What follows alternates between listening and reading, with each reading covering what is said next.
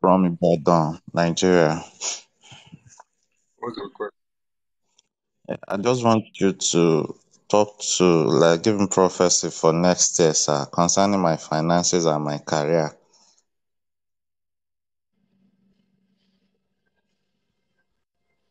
All right. Okay.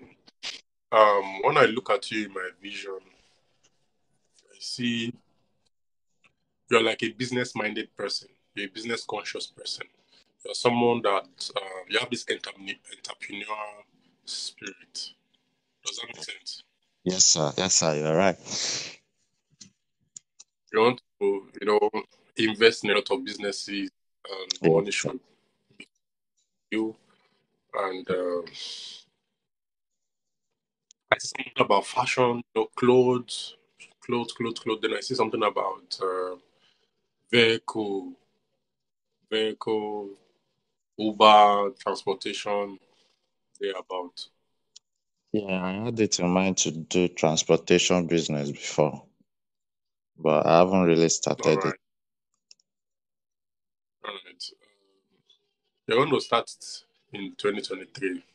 All right. Amen. You're going to start it in 2023, prospering in that area. I see money coming for you. I see you make a lot of money.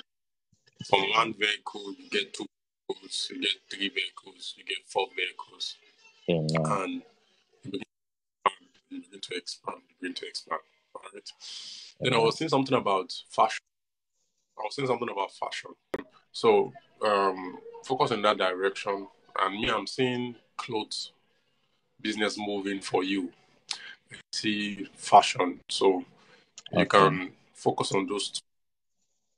Focus on those two, all right? Because these are I saw the these are I saw the vision. Eh? I see myself appear in a place. You know, um, Computer Village. Yeah. Yeah. My spirit appeared in a place like Village. And I saw a car. I saw a Okay. car, big all those big cars. Then I saw I saw clothes on the car. Okay. I saw clothes. So you can combine those two businesses. Then I also um, saw like a boutique. Okay. So like a boutique, a boutique. So um, look into those areas. You're gonna right. you're gonna prosper in 2023 in those All two right. businesses. Okay. Thank you very much, sir. All right, sir.